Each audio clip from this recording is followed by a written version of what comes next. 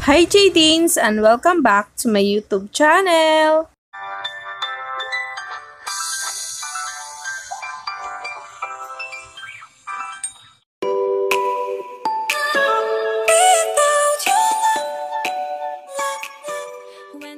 James Reid at Nadine Lustre nagvi-video call habang hindi mo na pwedeng makita ang bawat isa.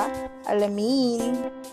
Yan na nga ngayon ang pinag-uusapan sa social media matapos nga itong si James Reid at ang kapatid nga nito ay mag-post sa kanilang Instagram account kung saan nga'y sinasabing Nagpakita din si Kuya Stay Safe, Day 3 of Community Quarantine and we out here on the Stay Sane and call your friends to make sure they are okay session with our girls.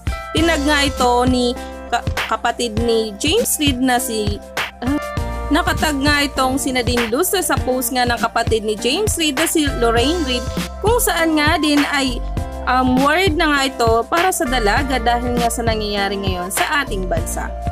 Kaya naman kahit nga magkalayo ang dalawa ay may time pa nga rin itong kamustahin kung ano na nga mga ganap at anong nangyari sa kanilang mga live. Kaya ganun pa rin ang pagkakilig ng mga Jaden fans dahil nga sa ginagawa ng dalawa. For more videos, please subscribe to my YouTube channel at i-hit mo na rin ang notification bell para updated ka every time na mag-upload ako ng panibagong video. And see you on my next vlog. Bye!